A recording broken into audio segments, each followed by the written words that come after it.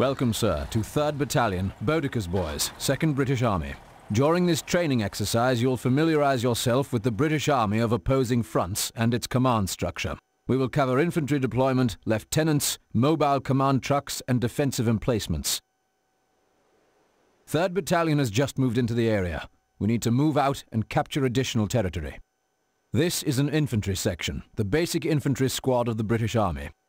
Left-click on your infantry set. Now, right-click on the indicated position to order your squad to move there. Stay sharp, lads. Notice how your squad moves. While moving in friendly territory, all British squads move using their assault stance. The infantry section is now entering neutral territory. Notice the change in stance. When moving in neutral or enemy territory, all squads adopt a patrolling stance. They move more cautiously, sacrificing speed for protection. Let's help them out by deploying a lieutenant. Left-click on your command truck to select. Left-click on the flashing button on the command panel to deploy a lieutenant. Lieutenants are the basic officers of the British. They are critical to the success of your army.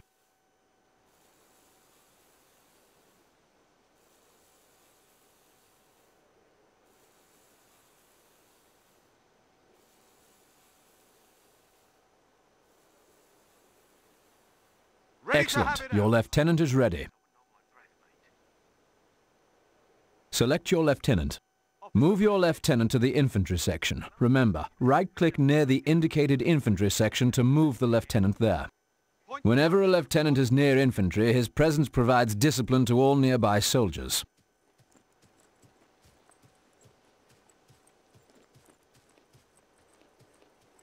Good. The star over your infantry shows that a lieutenant is nearby. This grants them combat and veterancy bonuses, so it's best to keep the lieutenants close. Since the lieutenant is so critical to the success of your infantry, it is important for him to maintain command range.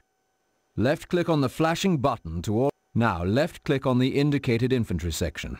Yes, sir. Good. Command order. Notice the symbol above the lieutenant, indicating that he is now following the infantry section. Select your infantry section. Now, let's order the infantry section to capture that munitions point. Those munitions Notice that your infantry are moving much more quickly with the lieutenant nearby. Watch out. Incoming enemies.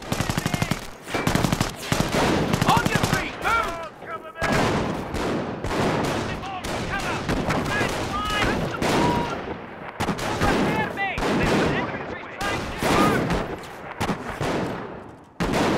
Excellent work. Enemy patrol defeated. Your infantry might have had a tough fight. Good thing the lieutenant was there to keep them in line. Proceed with capturing the sector. Target seen! Let's go, gents!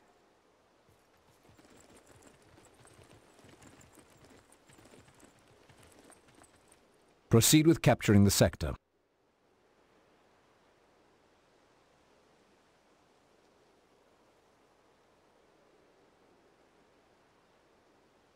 Proceed with capturing the sector.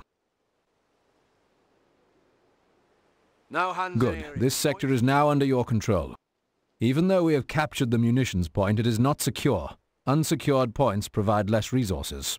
Let's secure that munitions point now. The British secure territory sectors differently than other armies. They use their mobile command trucks. Command trucks are the backbone of the British Army because they can be deployed anywhere on the battlefield. They allow the British to call in reinforcements where they are needed. More importantly, once deployed, command trucks also secure territory sectors.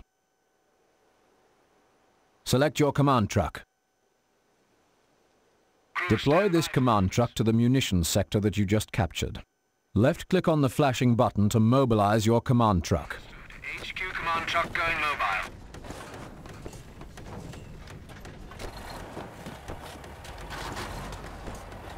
Good. Command truck is mobile. Look at the minimap. All your territory is flashing. Whenever your headquarters command truck is mobile, your controlled territory will not be in supply. Sectors that are not in supply do not generate resources. Order your command truck to the munitions sector by right-clicking near the indicated position. There are many reasons to move your command truck. It grants resource bonuses to the sectors it occupies. It can deploy units closer to the front line or relocate if the enemy is attacking. The command truck is quite vulnerable while moving, so guard it carefully.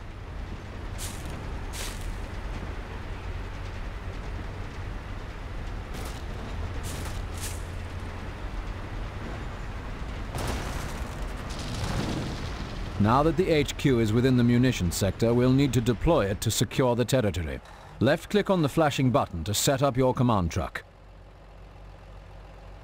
Left-click on the indicated position within the sector to order your command truck to begin setting up there. HQ command truck moving out.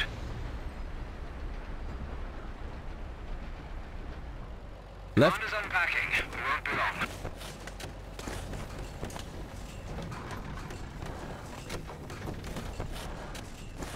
Excellent. You have successfully deployed your command truck. Notice that the territory has stopped flashing. Your territory is now back in supply. Your munitions resource rate has improved dramatically as well. To build a machine gun emplacement, select your infantry section now. Right. Click on the flashing button to access your defensive structure construction options. Left-click on the machine gun emplacement button. Position the emplacement by left-clicking on the indicated location.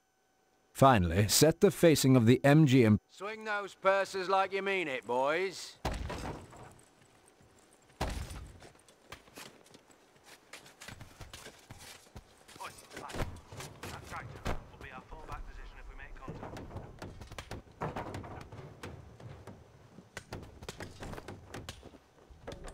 MG Excellent. completed. British infantry can also build structures like mortar pits or casualty clearing stations. The enemy has discovered our location. Stand to. An MG emplacement is an excellent defense against attacking infantry.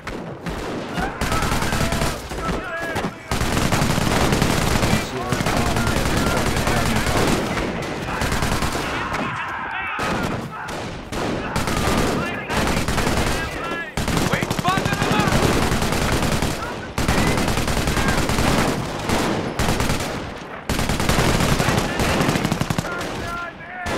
We've got rounds incoming! Getting infantry done! Good. Enemy infantry neutralized. To provide additional protection for our troops, let's build a slit trench. Click on the flashing button to access your def- Left-click on the flashing slit trench button. Left-click on the indicated location to place the slit trench there. Set the facing of the slit trench. Break out the Unique to the. British, slit trenches are defensive structures that infantry can garrison for additional protection from enemy fire.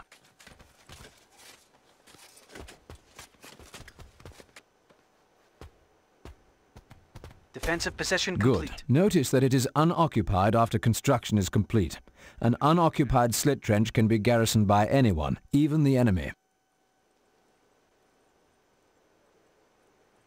Taking fire! That's German target has payback, you been knocked out. buggers!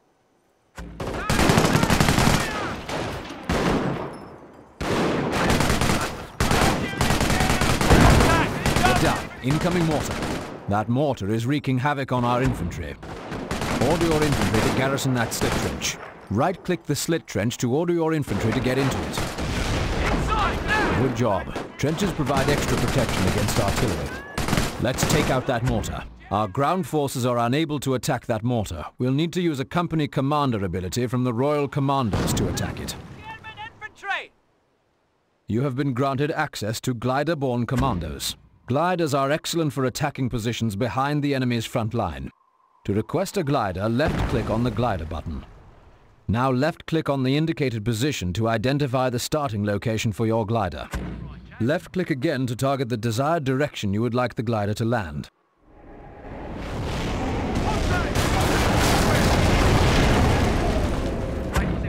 Commandos reporting for duty. Order your commandos to take out that mortar. Remember your tactical training. Infantry! Back in Jericho! Infantry!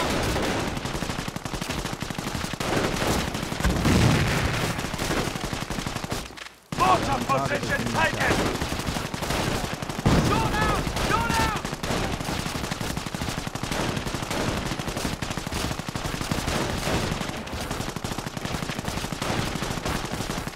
They shore those Huns Now you know about some of the unique aspects of the British. You learned about the lieutenants and infantry, command trucks, and how to build emplacements.